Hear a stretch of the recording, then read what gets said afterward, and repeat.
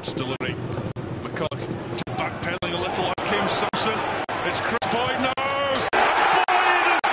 He's only been on the block. A couple of minutes! It's an instant impact from Kris Boyd now.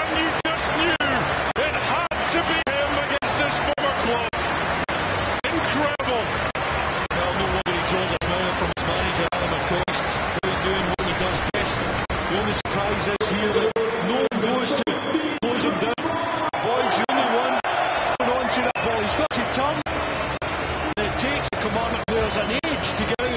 shot. I think the quickest one out is Sammy Clingan, but far too late. Lee McCulloch actually annoyed the I took it, but that's what he can do inside 18 yard box.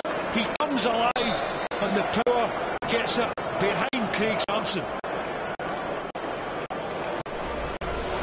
I'm delighted for him. He's, you know,